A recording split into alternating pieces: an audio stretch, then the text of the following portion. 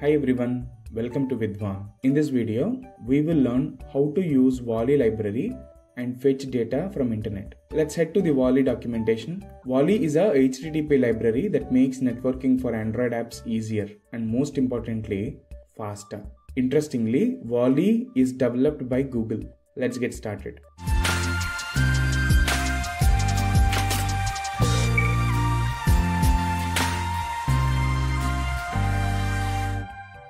To pick up a public API, I have a favorite GitHub link that shows all the public APIs that are available on internet. Simply just search for public APIs GitHub, you will get that link. You can open this link and go through the collective list of free APIs available.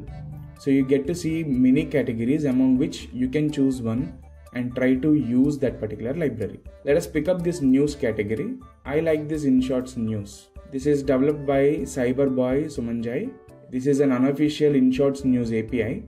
However, as this is just an example, we will try to see how this library fetches news and displays it on the device.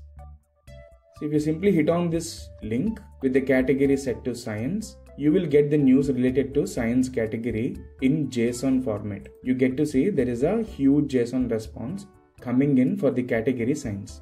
If the category is set to technology, you get to see the news related to technology and this news will come to you as a JSON object. Not only technology and science, we got 13 categories in which we can get the news from. Check out this library because this is really interesting. I'll pin this link in the description. Let's create a new project. Let's hit on new project, choose empty activity. Let us simply call it Inshorts unofficial. Simply hit on finish to create this project. We will be developing a relatively very simple application. Let us remove this hello world. Let us design the UI quickly. I'll just have a button at the bottom of the screen. So I should set my bottom constraint of the button to the bottom end of the screen, left to left and right to right so that the button will be in place. Let us change the button's uh, width to match its constraints. So the button will be extending itself to the fullest width of the screen. In the place of the button, I'd like to call it as get data or get news. We will also have a text view so that we can display the entire content so let us set the top constraint of the text view to the top of the screen, left to left, right to right, and the bottom constraint to the top constraint of this button. We can actually scale this text view to the fullest width by making the text view's height to match constraint. Similar is the case with width of the text view. Please note that the ID of the text view is text view. If you scroll down a little bit, you will find some text here. Let us just stylize it a bit let us choose a color let us make it bold. So we can now remove this text view. Along with this text view and the button let us also drag in and drop this progress bar. Set the top constraint to the top of the screen bottom constraint to the top constraint of the button left constraint to left side of the screen and right constraint to the right hand side of the screen. Progress bar has an id called progress bar. When you want to work with networking the first thing that you need to do is head to android manifest.xml and add the permission to use internet. Next, we should head to the Volley networking library official documentation. So we are supposed to add this dependency, copy the dependency, come back to the project, open build.gradle file for your application module. You can add your dependency in the dependencies uh, section. Hit on sync now so that the dependency will be added to your project. We will head back to activity underscore main and create an on-click event handler for this button. On click, I want to create a method called getNews on main activity. Do Alt Enter, choose create getNews in main activity. So let us create an object for the text view. Let us call it text view. Let us also create an object for progress bar. Let us call it progress bar. Connect these two with the help of find view by ID do not show the progress bar to the user as soon as the user opens the application. So set the set visibility attribute to invisible. As soon as the button is pressed, as we will be doing networking, we will set the visibility to visible back again. Now here, as soon as the get news button is pressed, we are supposed to do networking and fetch data from Volley library. So let's head back to the documentation and if you see there are important links available under the lessons heading. I'll just want to do a simple send request. I'll hit on this lesson. After adding the internet permission, which we already did in our project, first thing that you're gonna do is you are supposed to create a request queue object with Volley.new request queue.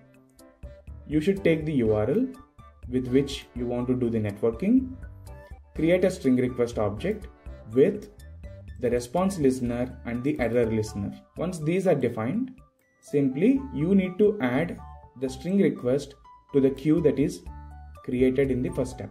Nice. You can actually copy this code and try to work with it. However, let us write the code in the get news method. First, create a request queue. I will call it queue that is equal to Volley.new request queue. Pass this as the context. Next, you are going to create a string URL and that is equal to so this is the URL that will fetch the data for us.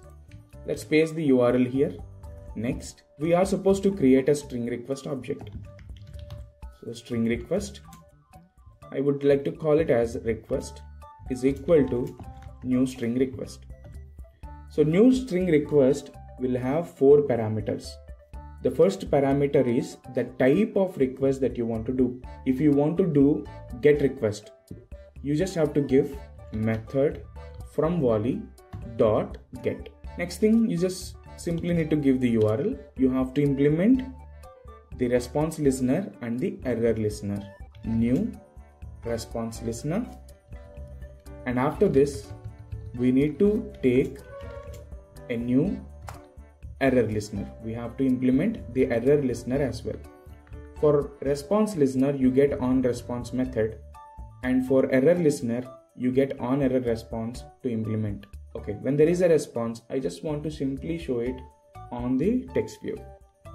I write text view dot set text, write response, and you're done. In a similar way, when there is a error, you can simply show that error on the text view. Set text error dot get message. In both the cases, we are supposed to stop showing the progress bar. So progress bar dot set visibility to invisible. We'll copy the same line. Alright, once this request is created, we just have to add this request to the queue. So queue dot add pass this request object and we are done. Now we can simply run this application on the mobile device and uh, try to see the output. Let me show the output on Vysor. The app is up and running. Now if I hit on get news, I see that there is a progress bar visible to the user and as soon as the data is fetched, this progress bar will go invisible and you can see the data. Thank you so much for watching. Subscribe to Vidhvan and never miss an update by enabling the notification. Good day. Bye bye.